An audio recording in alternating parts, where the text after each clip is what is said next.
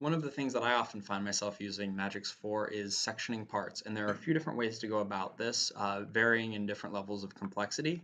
The first thing I'm going to show is a basic sectioning operation.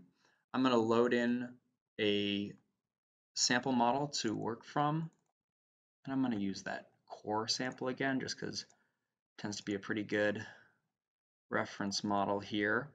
And I'm just going to show the basic sectioning operations. And the way we achieve this is by enabling our part section sliders here, where I can actually on the X, Y, or Z axis select a specific area on my part by using these slider tools and go ahead and perform a section operation.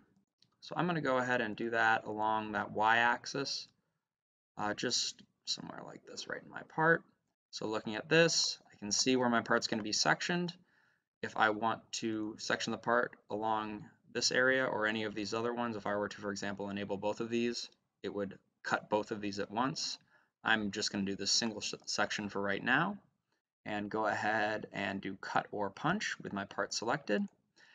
And with this, it's saying cut the visible sections of this part along the contour selected here I'm going to go ahead and hit apply.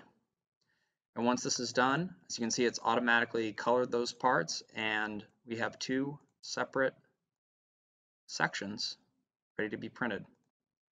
This is especially useful when we're either sectioning out parts of STL assemblies to be printed in multi-material prints on the PolyJet printer, or for applications where we're uh, splitting large FDM parts that either can't fit in a Fortus 900 or smaller system type really powerful functionality within Magics to quickly and effectively section parts.